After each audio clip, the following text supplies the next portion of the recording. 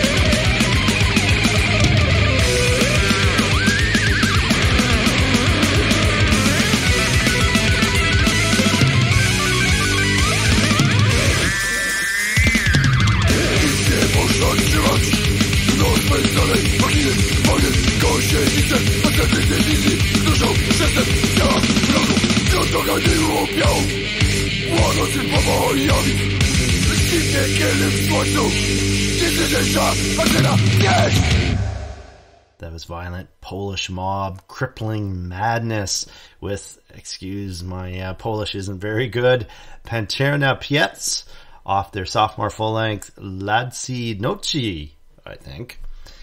Uh, so next up, uh, we go back to the Netherlands, uh, but this time for some dark black metal from Funeral Winds. Here's the title track off their seventh full length Stigmata Mali.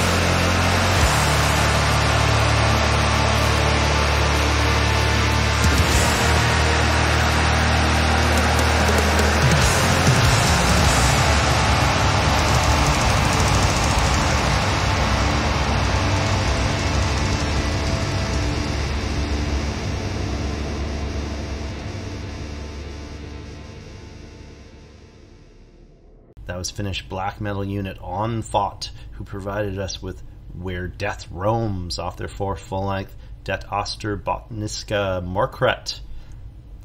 So next up, sophomore release of Extremity from Siege of Power, who is made up of members and ex-members of bands such as Asphyx, Autopsy, and Hail of Bullets. Let's take in Zero Containment off their album This Is Tomorrow.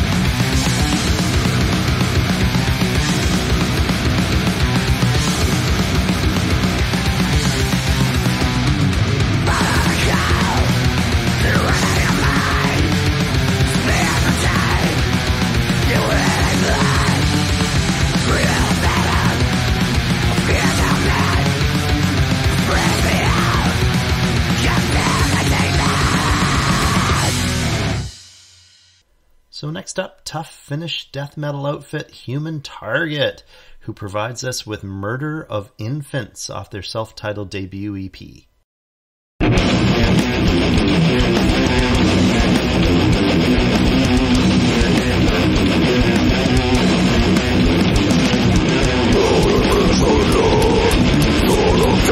Oh,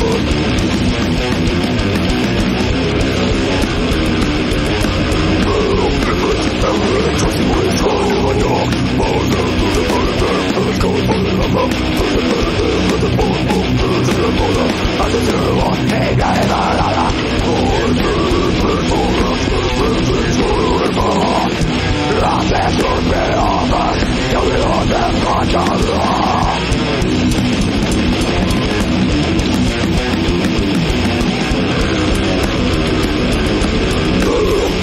the world, cause the world.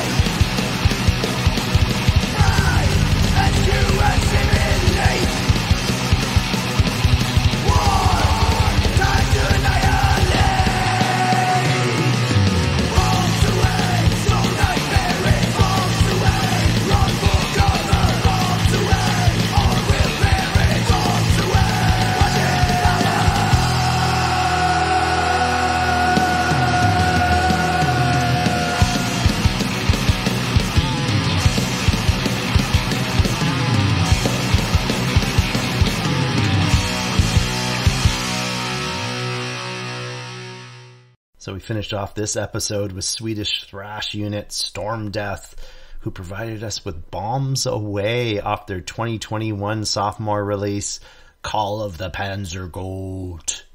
So thanks for joining in and remember to check in every Monday for our new release Monday episodes. Tuesdays we have our in 40 minutes curated playlist. Wednesdays we usually have written or album reviews and Thursdays are our best of. Uh, that sort of thing. You know where to go. www.themightydecibel.com. Have a great one, eh? Bye.